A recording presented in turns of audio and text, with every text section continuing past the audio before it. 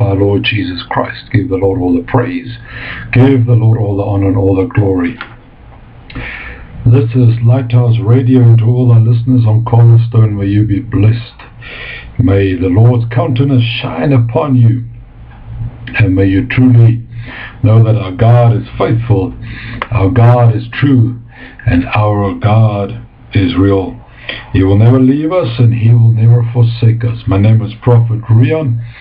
This is the course on the Holy Spirit called the Definitive Work on the Holy Spirit. And tonight I am presenting for you part two on this course, uh, part two of the journey through the tabernacle. The journey through the tabernacle, the last, uh, in, in the previous, um, well, at least in part one, when we looked at you know the journey through the, the spiritual journey through the tabernacle. We uh, started at we started what is the tabernacle. Um, how we need to understand that the spiritual tabernacle of the Old Testament now lives in with our soul within our spirit soul and body because of the blood of Jesus. And we have looked at how we can know how before we can really experience God's presence like a priest did in the Old Testament or in the Holy Place in the Holy of Holies, we have to go through the process of submission, of cleansing and sanctification. And we looked at under the New Covenant, our walk is not physical, but it is spiritual. But the physical walk through the tabernacle as we find in the days of Moses and the days of Solomon and so on, it still holds great spiritual significance and great spiritual truths to our spiritual walk today as we grow closer to God and we seek the Lord. So now in, in, in part two of this teachings I want to look at the outer court or the courtyard. I want to look at the holy place and we'll see how we go from there. Like I said, this is quite an in-depth teaching.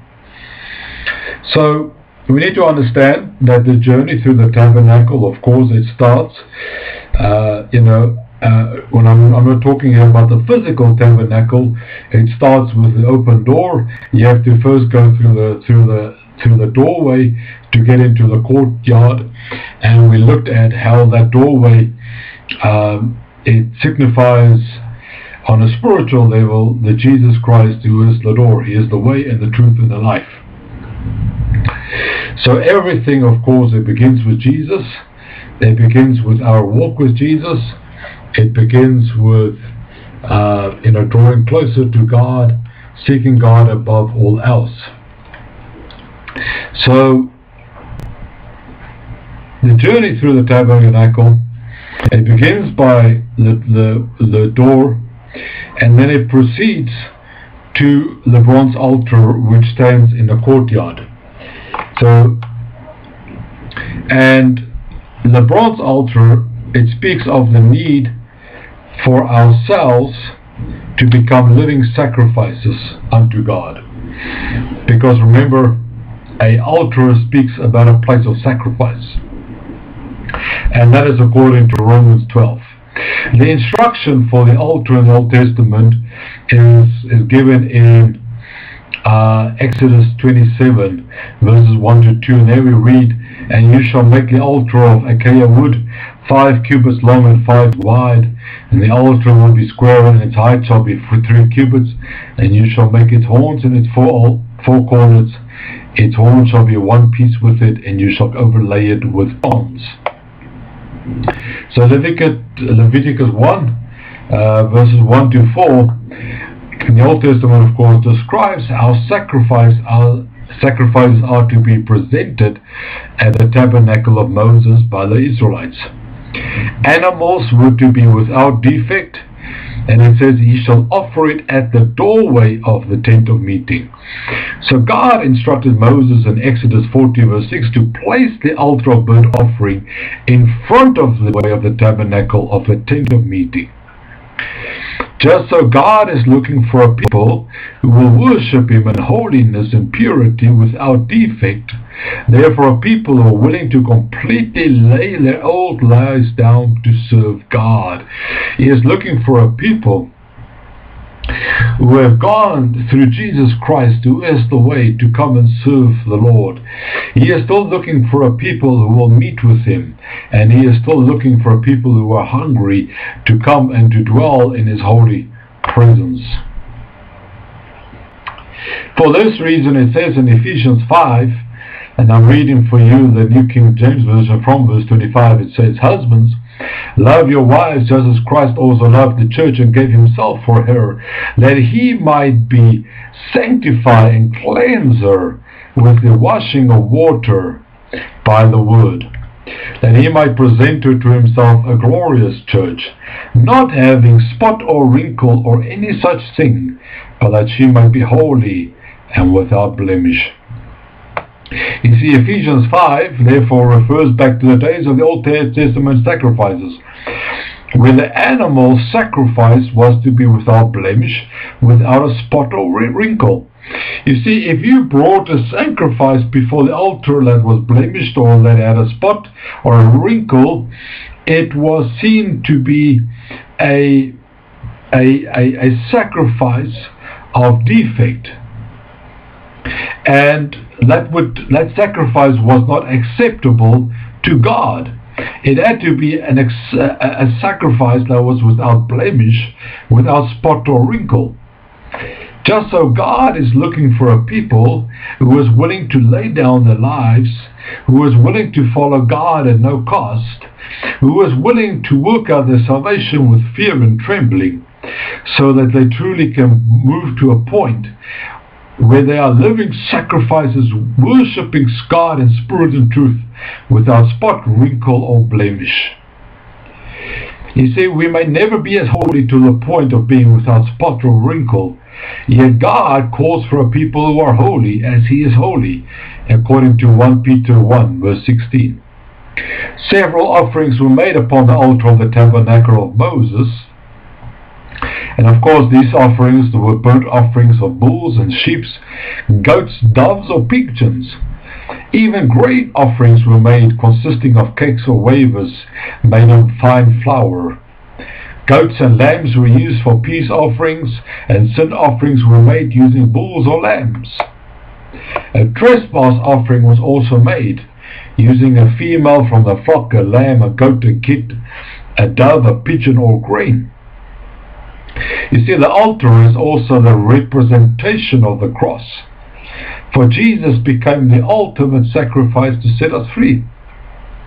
The blood of Jesus had reconciled us to God the Father, and our sins have been washed away. The tabernacle therefore remains a compelling symbol of God's forgiveness and grace.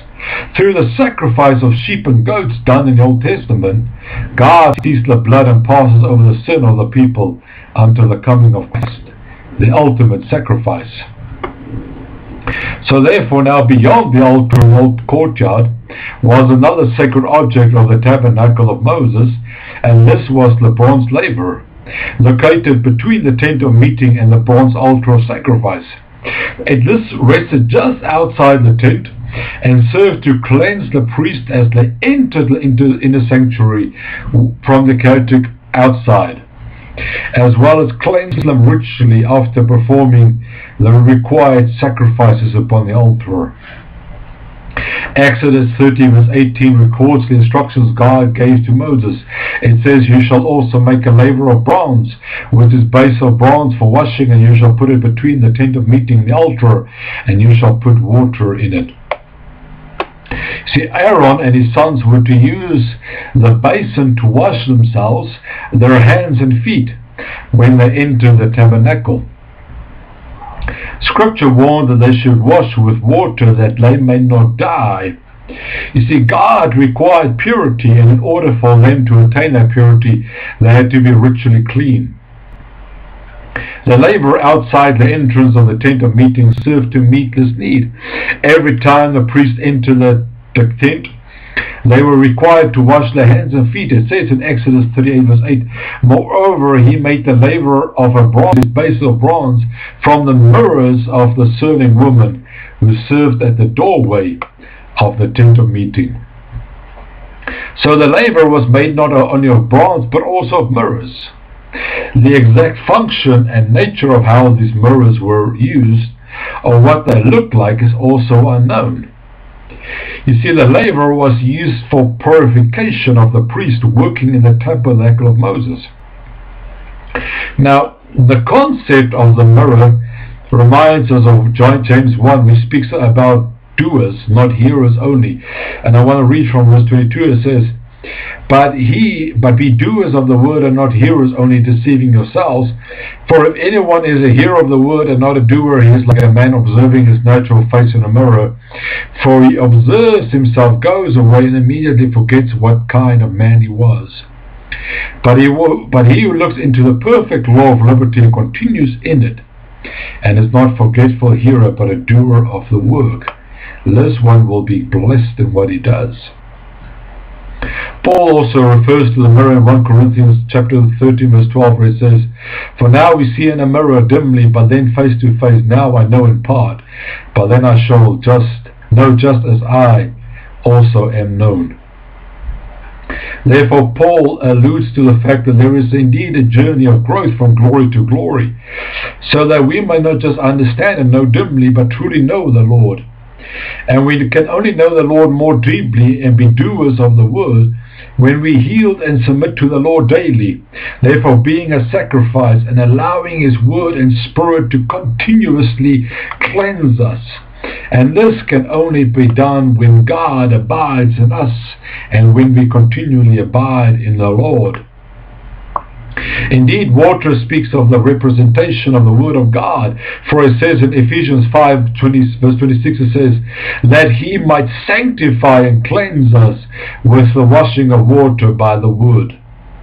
This word implies both the written word and the spoken word, for the spoken truth, sorry. For Jesus is the word that became flesh we have to therefore wash and cleanse our spirit, soul and body through the submerging and submitting to the Word of God. The Word brings freedom and maturity. The water, of course, also speaks of our water baptism. The priests of old washed their hands and feet specifically because your feet and your hands regularly came into contact with the sinful world. So God is speaking here for a people who are set apart, a people consecrated. And this is how we must be under the new covenant. A people set apart, consecrated, who set themselves apart from the world, who will not be defiled by the world. Those who are pure and who are cleansed in the blood of the Lord, in the Spirit of God, and by the Word of God. You see, by washing the affected parts, you wash away the dust of sin. By cleansing yourselves in the Word and through baptism, we move from our old ways into our old new ways, sorry. So the first century Jew would have been readily familiar with the symbolism used. Many pool ex pools existed in Jerusalem for ritual cleansing, especially around the temple precincts. You see, the bronze laver was the holiest of all pools, resting just outside the tent of meeting, where people, where God's presence dwelled. You see, it is important for us as believers to understand that much of what is discussed in the Old Testament is implemented into the New Testament. The symbolism used to describe Christ in many ways reflects God's construction of the tabernacle of Moses in the pages of Exodus and Leviticus. The tabernacle is a reflection of God's relationship with man. And in the New Testament, that relationship is embodied in Jesus Christ. Christ becomes the Christian's tabernacle, the very presence of God at the center of the individual's heart. Just so the washing waters of laver also find the Christian parallel in the act of baptism. John the Baptist baptized with cleansing waters in the early pages of the Gospel. The water of baptism to the Christian functions in the same manner as the water of the laver to the Jewish priest during the days of the tabernacle of Moses. It cleansed the individual of sin, allowing that individual to approach the presence of God. Just so we are reminded that we must daily immerse ourselves in the teachings and the guidance of the Word of God. By going through the process in the outer court, and I'm, I'm talking about the spiritual journey, we declare God is Lord in our lives. This is what the water baptism means. It means that we are setting ourselves apart, consecrating ourselves, committing ourselves unto God. And this is what the priests had to do in the Old Testament cleanse themselves by denouncing the compromise and sin, we acknowledge that God is our King. And by taking the step of faith, we declare that we are sick and tired of problems and fear. That we want God's purpose and we want His strong guidance in our life. By crossing through to the holy place, we submit all to the Lord. As we yield to the Holy Spirit, we allow God to be the ruler over our soul, spirit, and body. And so when we reach this point of growth, we will begin to stand on God's word. For God is our refuge, our fortress of strength, and a shield of protection. And so therefore let us remind ourselves that says in Psalm 23, who, as Psalm 24, sorry, who can ascend the hill of the Lord? He who has got clean hands and pure of heart. You see, God yearns for us to dwell with Him, John 15. But we need to go through this process of being daily sacrifices unto God, sacrificing all for His kingdom, allowing the Word and the Spirit to continuously cleanse us, renew our mind and our hearts, so that we can draw closer to God, so that we can become more like our Lord, so that we can dwell with Him, so that He can dwell with us. And this is why, you know, when it says that we must daily renew our minds, we, we must guard our hearts, because this is a daily process. Daily we are in this world, but we are not of this world. Daily we need to consecrate ourselves. Daily we need to deny ourselves. Daily we need to commit ourselves to God, so that we continue a spiritual journey to abide in God. So when you go out of the auto, out of court, beyond the altar and the and, and, and, and, and, a bronze laver, you find you, the priest would enter the holy place. And the holy place you would find three sacred objects, each with a specific purpose and function. And these three pieces of sacred furniture was the table of showbread, the golden lampstand, and the altar of incense. Again, I will repeat that. The table of showbread, the golden lampstand, or the menorah, and the altar of incense. And then I, I will explain to you how this has a spiritual significance for us today as believers under the new covenant. So God gives the, the, Moses the instruction concerning the table of showbread. In Exodus 25 verse 23 it says, and you shall make a table of acacia wood, two cubits long and one cubit wide, and one cubit high. You see, the table of showbread was assigned a place along the north wall of the table, the tent of meeting. Therefore, as one entered the holy place from the courtyard, the veil would be seen in front, constructing the western wall of the holy place, separating the holy place from the most holy place. And on the right hand side, along the northern wall, outside the veil, rested the table of showbread.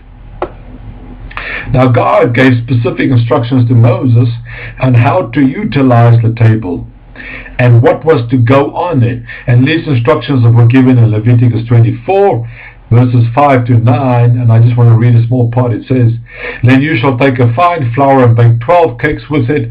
Two tenths of an ephah shall be in each cake, and you shall set them in two rows, six to a row, in a pure gold table before the Lord. Now these twelve loaves represented the twelve tribes of Israel.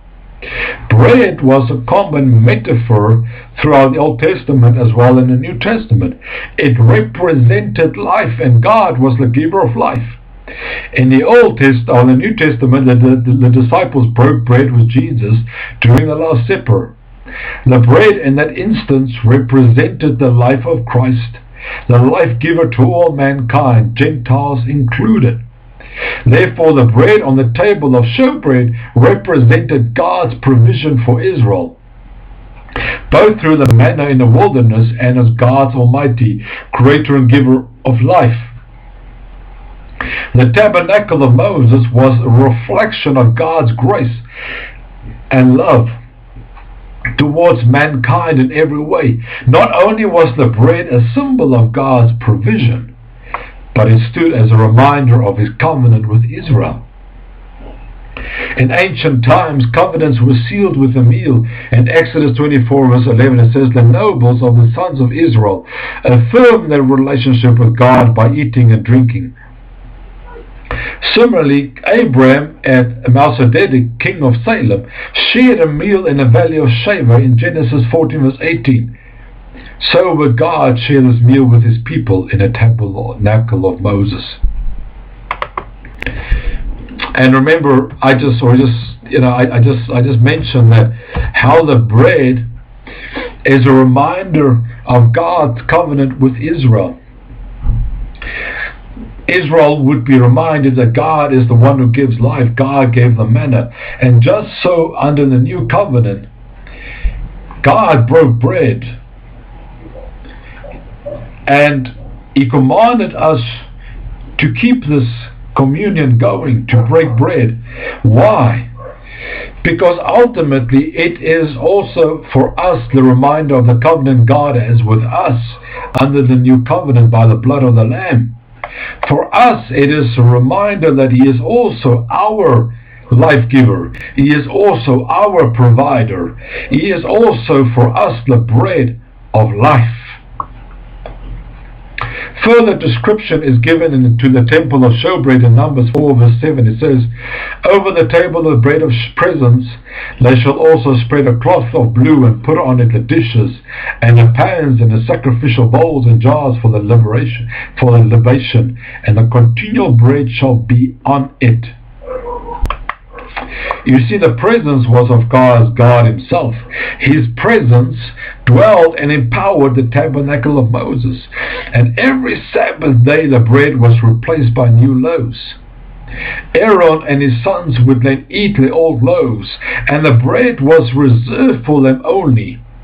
In eating of the bread of the presence, Aaron and his sons were renewing their covenant with God through the covenant meal.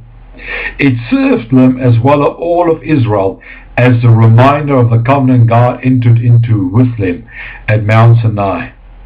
And centuries later, Jesus would eat with his disciples, telling them the bread would later serve as a reminder for his body and sacrifice for us all.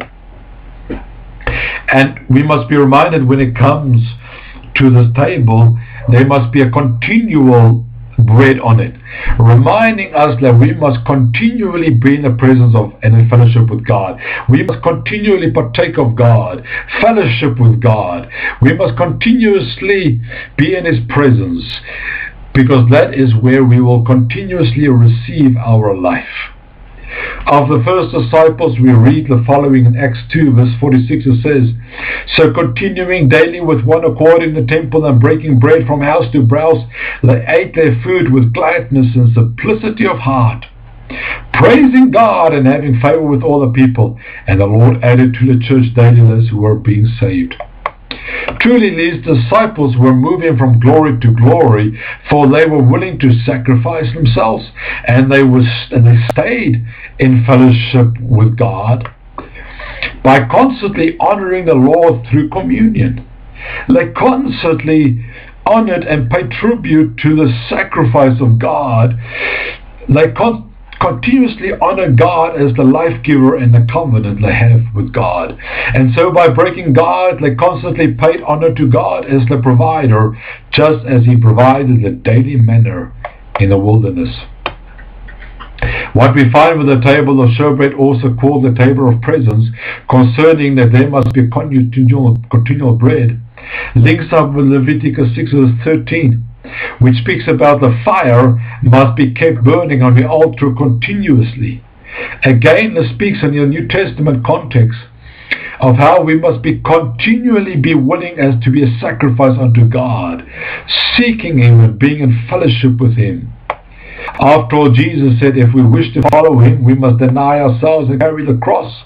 And as we do so, then John, 1, John 15 verse 1 becomes a reality, where we abide in the Lord and he abides in us. Indeed, with the table we submit our will to God. Bread is food which indicates that we must allow our spirit, soul and body to be continuously fed by God. We must sacrifice our will and trust in God to provide for us. At the table of incense, we allow God to take control of our emotions through praise and worship.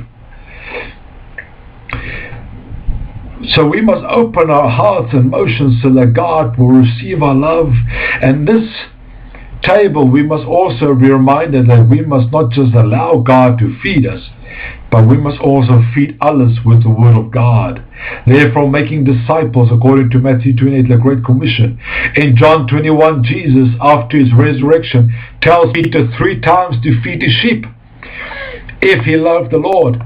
So as the Lord feeds us with His manna, His presence, as He fellowships and abides and tabernacles with us, we must feed others not just spiritually but also physically. Again, Hebrew living in Jerusalem would have noticed the symbolism when Jesus spoke of the words of John 6 verse 35 when it says, Jesus said to them, I am the bread of life. He who comes to me shall not hunger, and he who believes in me shall never thirst. First century AD, Israelites would have likely associated the bread of life with the bread on the table of showbread in the temple. Now, Exodus 25, verses 31 to 40, describes the golden lampstand which provided light for the priests as they worked in the holy place. As the table of showbread was located along the northern wall of the tabernacle of Moses, the golden lampstand stood on the southern wall on the left hand side as one entered the tent. The lamp was to stay lit continuously as it was one of the duties assigned to Aaron and his sons. Leviticus 24 verses 2 to 4 says, Command the sons of Israel that they may bring to you clear oil from beaten olives for the light, to make a lamp burn continuously Outside the veil testimony and the tent of meeting, Aaron shall keep it in order from evening to morning before the Lord continually. It shall be a perpetual statute throughout your generations. You shall keep the lamps in order on the pure gold lampstand before the Lord continuously. So when speaking of the lampstand, we visit, of course, Zechariah 4, and this is the vision he had of the lampstand and olive trees. And we read from verse 4, it says, Now the angel who talked with me came and wakened me as a man who was wakened out of his sleep. And he said to me, What do you see? And so I said, I am looking, and there is a lampstand of solid gold with a bowl on top of it. And on the stand seven lamps with seven pipes to the seven lamps. And two olive trees are by it, one at the right of the bowl and the other on its left.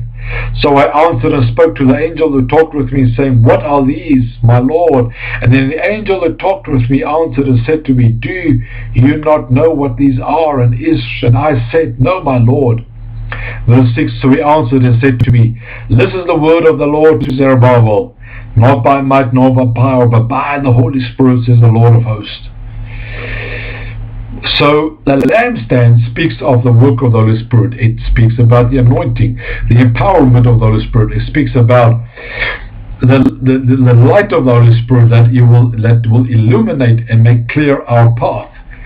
John 16, of course, from verse 5, it says, But now I am going away to him who sent me, and none and none of you ask me, Where are you going?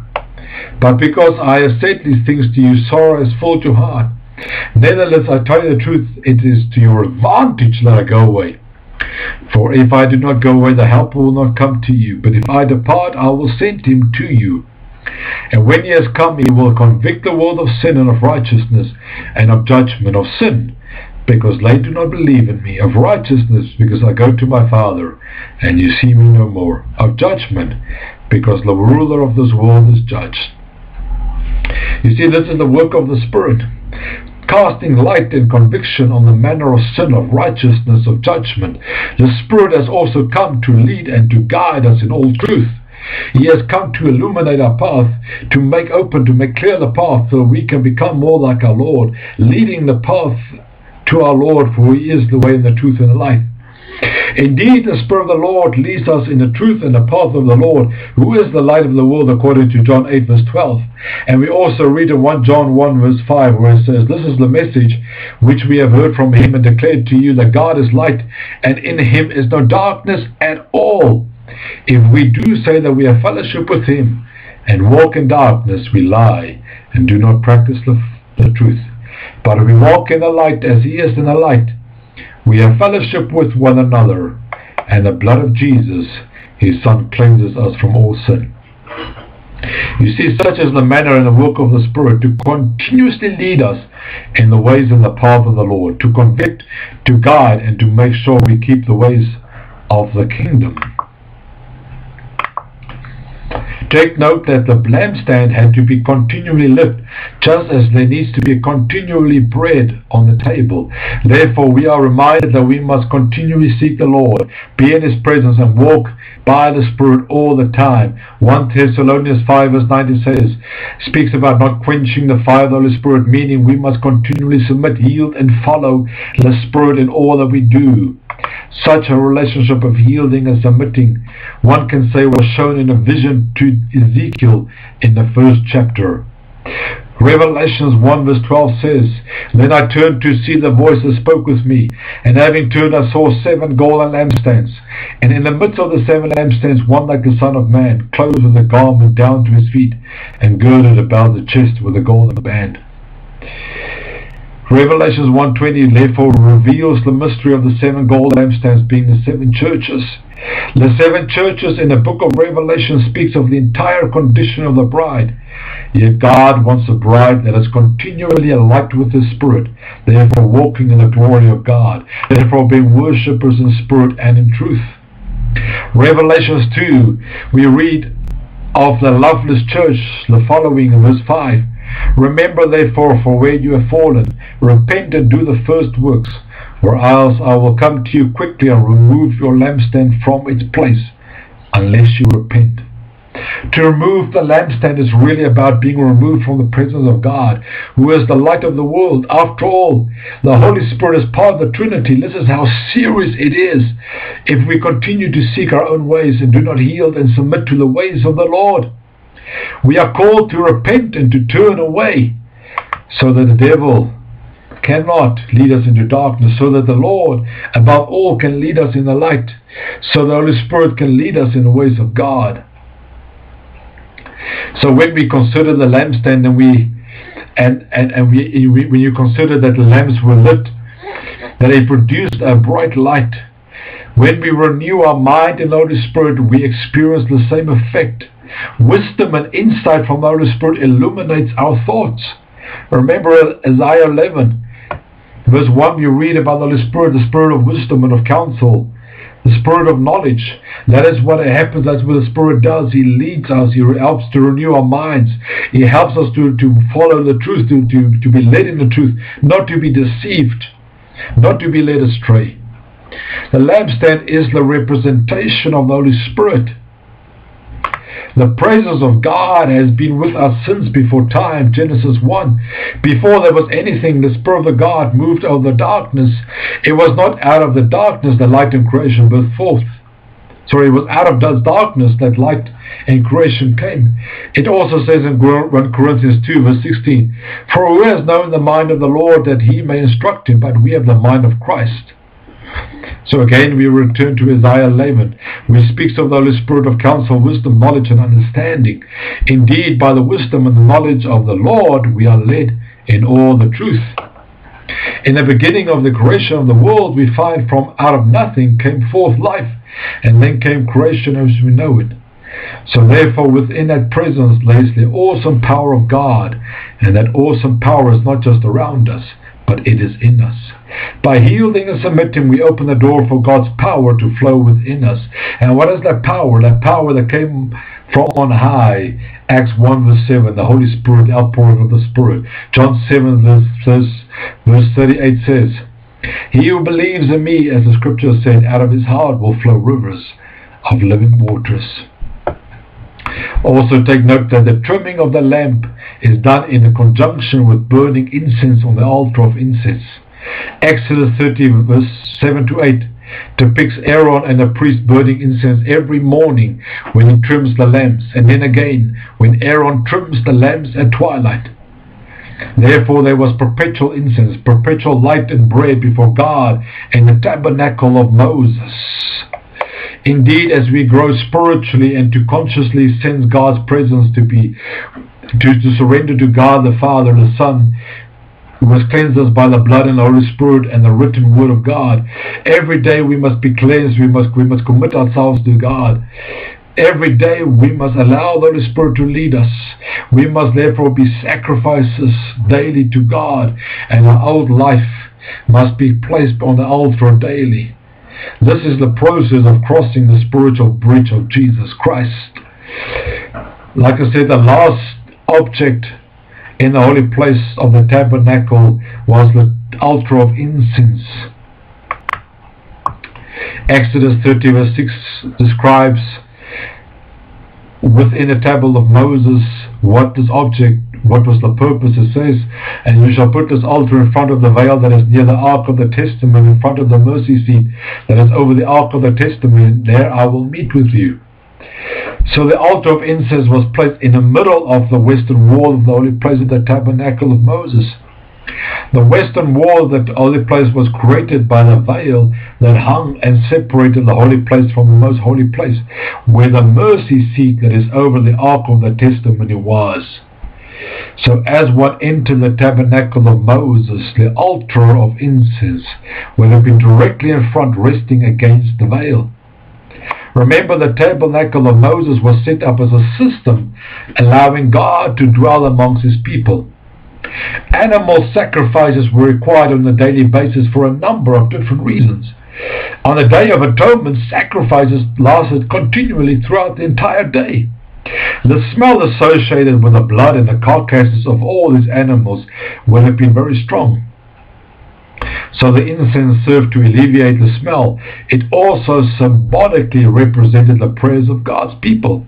The incense from the golden altar of incense produced an aroma pleasing to the Lord. King David wrote of his prayers of incense in Psalm 141 verse, verse 2 it says, May my prayer be counted as incense before thee, the lifting up of my hands as the evening offering. Now it says in what 2 Corinthians chapter 2, For we are the sweet fragrance of Christ, which exhales unto God, discernible alike among those who are being saved and amongst those who are perishing. To the latter is aroma wafted from death to death, a fatal odor, the smell of doom. To the former it is aroma from life to life, a vital fragrance, living and fresh. So where does the sweet aroma come from? It comes from the anointing of God. The anointing comes by a life in the Spirit. And once we walk as believers separated from the world and separated from religion and man-made traditions, we walk in the aroma of the Lord. As we lead a life, therefore, by the Spirit, then we shall walk in the sweet aroma of the anointing that empowers and enables us to be witness unto the Lord in this world. Someone who walks in anointing and who lives by such anointing should live so in God's glory that his entire life must testify to the Lord's truth and holiness. You see, we must be completely submitted unto the Lord, following his ways, and walking in the Spirit to be completely and utterly moving in the anointing. We can never but never become fragranced and walk in his righteousness and wisdom and truth if we do not walk in his presence.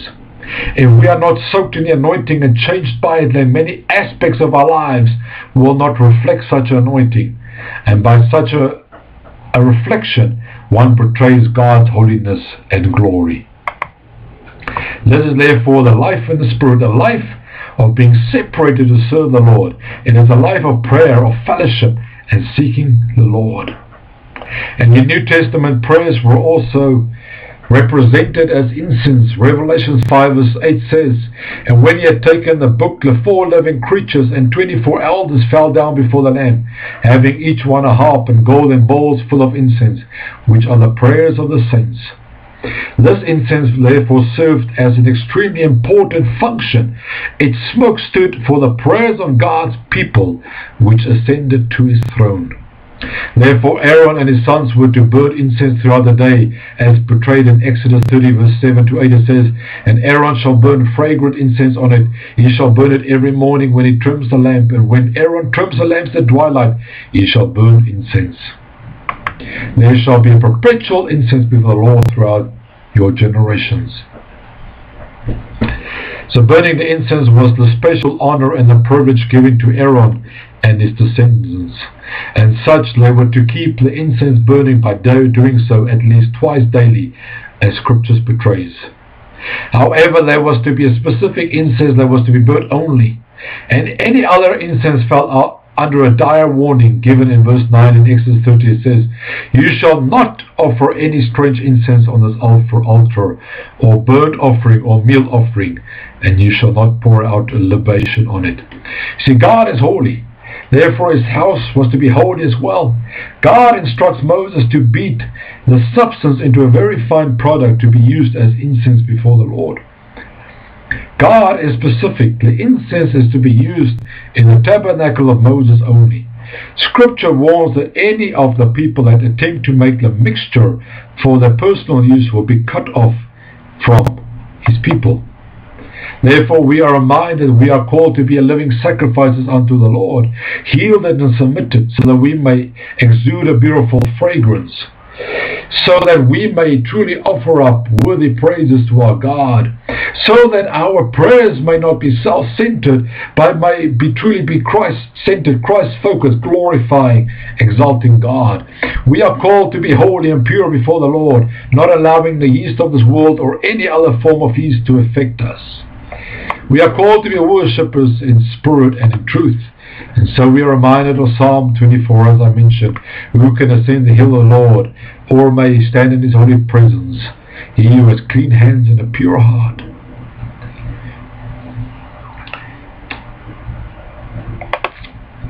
This is what it truly means to God, that we must serve Him and worship Him. We must come to Him as a continual sacrifice continuously committing ourselves, continuously in, in, in, fellowship, never quenching the fire of the Holy Spirit, never stepping out of God's presence, never turning from the light to the left, but always abiding in God's holy presence.